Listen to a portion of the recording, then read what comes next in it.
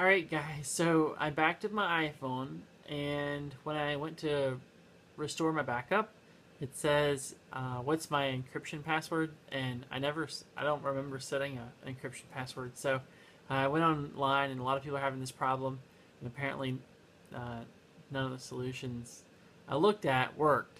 So, uh, like for instance, I tried entering in my Apple ID password with lowercase. I tried the no numbers thing and then I tried um, I tried my phone's unlock password, all kinds of stuff. So if anyone has any uh, special uh, ideas, just go ahead and let me know.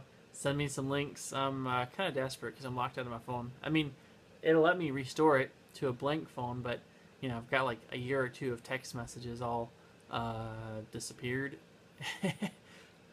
and happily encrypted. So, anyways, thanks.